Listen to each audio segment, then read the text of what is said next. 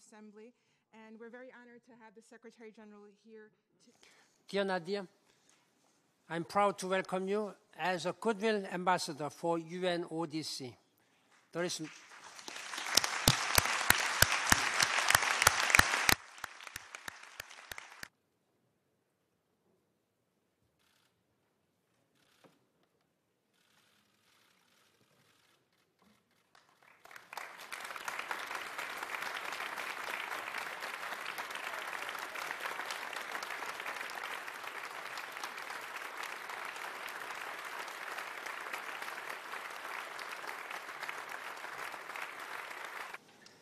أقف معكم اليوم لأمثل هؤلاء الذين رحلوا عنا.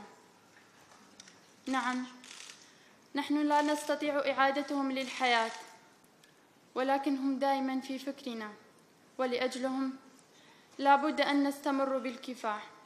على عدم الانضمام إلى صفوفهم. أنا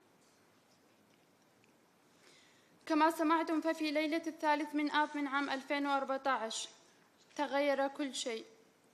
داعش أتى للخطف والقتل والاغتصاب. نعم كانت إبادة جماعية. بهذه البساطة وفي غضون أيام إن لم نقل ساعات. الآلاف من الإيزيديين قتلوا والآلاف من النساء والأطفال اختطفوا. لا لشيء فقط لكونهم إيزيديين.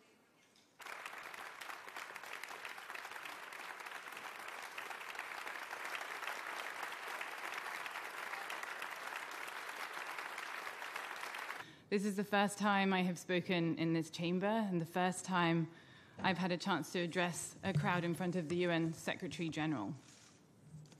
I wish I could say that I was proud to be here, but I'm not.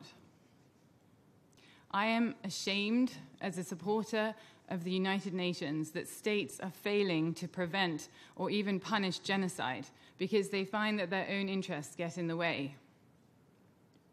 I am ashamed as a lawyer that there is no justice being done and barely a complaint being made about it. I'm ashamed as a woman that girls like Nadia can have their bodies sold and used as battlefields. I'm ashamed as a human being that we ignore their cries for help.